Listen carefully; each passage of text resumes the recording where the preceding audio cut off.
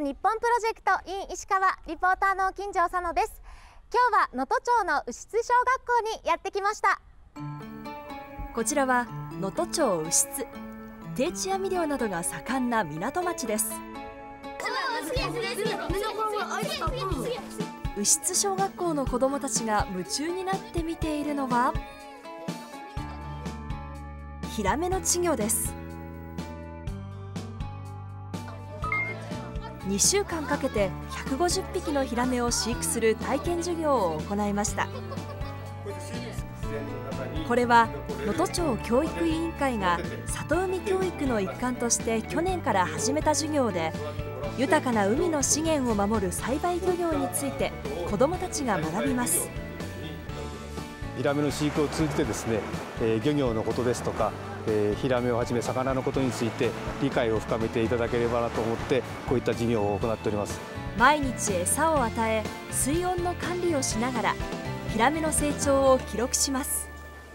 小さいところって目叩きないから可愛いと思うヒラメが死なないように 頑張って育てていきたいと思います。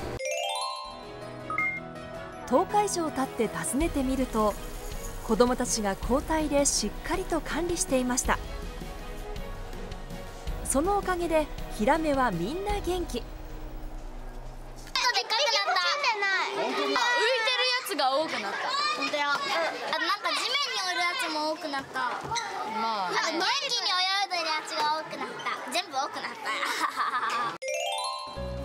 た。そしていよいよ放流の日を迎えました2週間お世話したヒラメとも今日でお別れです。悲しいけど返さないはい放流しましょ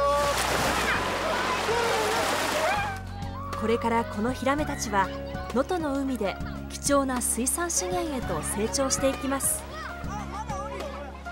いや悲しいけど元気になってほしい。そっか2週間じゃなくてもっと育てたかったなんて声かけたの？えっと元気でいてね。元気でいてねって？あの海に近くに生まれた子どもたちですからやっぱ海のことをしっかりこう知ってでやっぱり愛するっていうかな親しんで、まあ、都会とかに行っても海で魚を釣りたいなとかなんか海を見たいなっていうようなそういう思いでふるさとに帰ってきてくれる子どもたちになってくれたらなと思います。ふるさとの海を慈しむ心が子どもたちへと育まれていきます。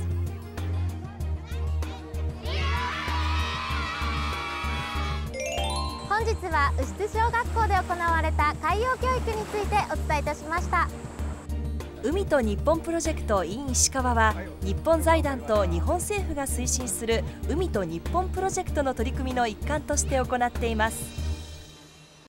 海と日本